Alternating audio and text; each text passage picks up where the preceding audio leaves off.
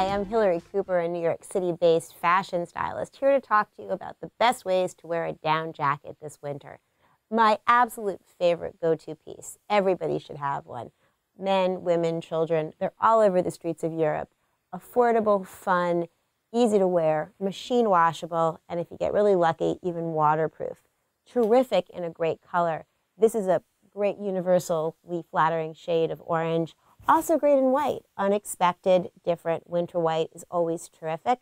Throw them in the wash if they start to get a little dingy. Always look great when they come out. Wearing it with a belt, it's just a great way to cinch your waist and make it more flattering. Short puffy jackets, also terrific. Really a great, flattering, chic, and feminine way to wear an otherwise man inspired look.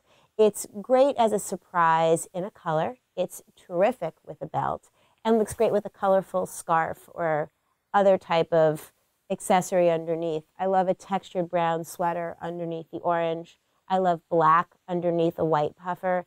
Navy is a terrific color as well. Black everybody has, but never a bad thing to own a couple of. A turtleneck collar keeps you warm. A hood is also a great accessory too. But just keep in mind that a down jacket is an essential for everybody's winter wardrobe.